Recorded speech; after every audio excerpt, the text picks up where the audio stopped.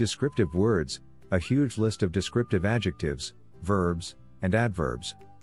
Do you want to sound more interesting? Use this list of descriptive words and step up your spoken language. This list has been chosen especially for ESL learners. Descriptive words, learn synonyms of different words in English.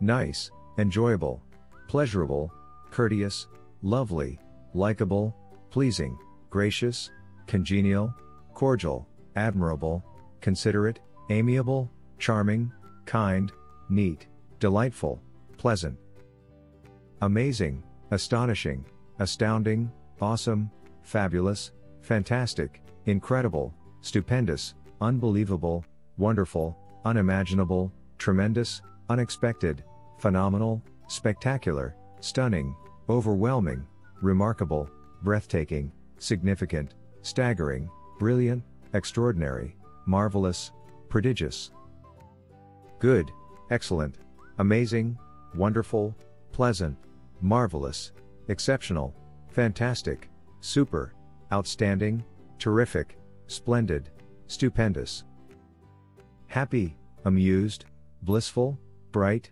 charmed, cheerful, contented, delighted, eager, ecstatic, elated, enthusiastic, excited, glad, gleeful, hopeful, joyful, lively, loving, marvelous, merry, optimistic, over the moon, overjoyed, pleased, positive, satisfied, thrilled.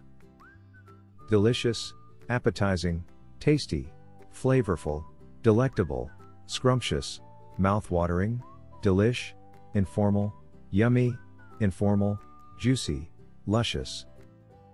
Kind, sympathetic, good large warm, hearted, generous, amiable, considerate, gentle, benign, formal, gracious, benevolent, kind-hearted, congenial, compassionate, caring, friendly, thoughtful, nice, good-natured, attentive, avuncular. Bad, awful, terrible, crummy, whack, slang, crappy or shitty, slang, rotten, naughty, dreadful, nasty, wicked, lousy, unpleasant, disagreeable, wretched, horrible, outrageous, despicable, disgraceful. Small, tiny, petite, mini, teeny weeny, pygmy, with animals, little, slight, minute, skimpy, miniature, wee, diminutive. Love, admire, adore, appreciate, cherish, enjoy, fancy, dote on, honor, respect, savor, like. Thanks so much for watching. We are ITTT, the leading provider for TEFL and TESOL training courses. If you liked this video, please subscribe by clicking that button down here and click on any of the videos here on the left for more interesting teaching tips for getting certified to teach English abroad and online.